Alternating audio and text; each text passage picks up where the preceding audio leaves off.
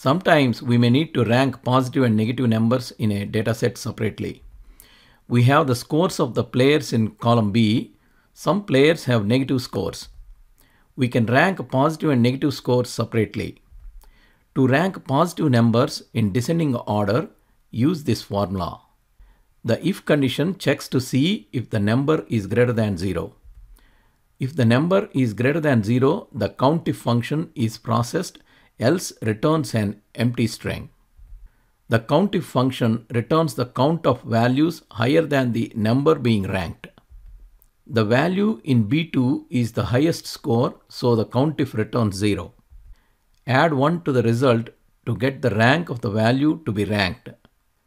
Mary is given a rank 1. Copy the formula down. Negative scores are not ranked and an empty string is returned. COUNTIF returns 2 for the score 72 as there are two scores higher than 72, 98 and 85. Adding 1 gives a rank of 3. To rank positive numbers in ascending order, use this formula. If the number is greater than 0, the first COUNTIF gets the total count of positive numbers in the dataset. The second COUNTIF returns the number of values higher than the number to be ranked. Subtract the number of higher scores from the total positive scores to get the rank. For example, there are 7 positive scores, there are 0 scores greater than 92, so the rank is 7. Copy the formula down there are two scores greater than 72. Subtracting 2 from 7 gives a rank of 5. The same logic is used to rank negative numbers. The difference is logic used to rank positive numbers in descending order is used to rank negative numbers in ascending order. And the logic used to rank positive numbers in ascending order is used to rank negative numbers in descending order. To rank negative numbers in ascending order, use this formula. The if condition checks to see if the number is less than 0. If the number is less than 0, the COUNTIF function is processed else returns an empty string. 92 is greater than 0, so an empty string is returned.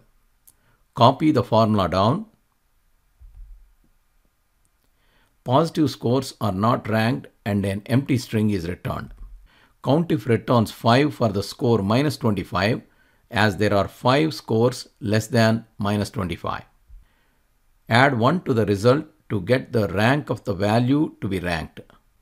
Adding 1 gives a rank of 6 to David. To rank negative numbers in descending order, use this formula. 92 is greater than 0, so an empty string is returned. Copy the formula down if the number is less than 0, for example minus 25, the first COUNTIF gets the total count of negative numbers 6 in the data set. The second COUNTIF returns the number of values less than the number to be ranked. Subtract the number of lesser scores 5 from the total negative score 6 to get the rank. So the rank is 6 minus 5 which is 1. To download practice Excel file, please click on the link in the description if you like this video, please subscribe to our channel.